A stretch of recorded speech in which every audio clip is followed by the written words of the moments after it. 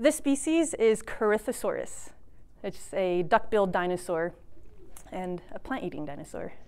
We had this skull that was collected from Dinosaur Provincial Park in 1920, and there was material collected, so other fossils, collected in 2012 that may or may not have belonged to it.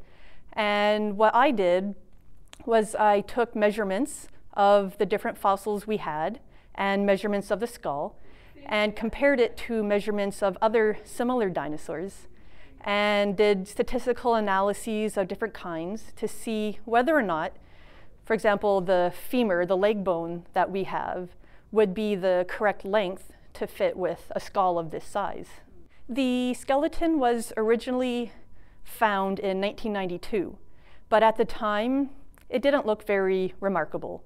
And it wasn't until 2011 that Darren Tanke from the Royal Tyrrell Museum found some archaeological evidence in the debris which was beside the site.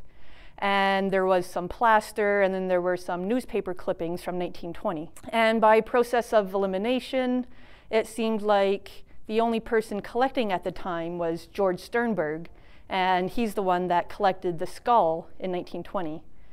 So after it seemed like there's potential that the fossils belong to the skull, it was collected in 2012 by the University of Alberta, and that's when the whole process began with trying to figure out whether or not it belonged together.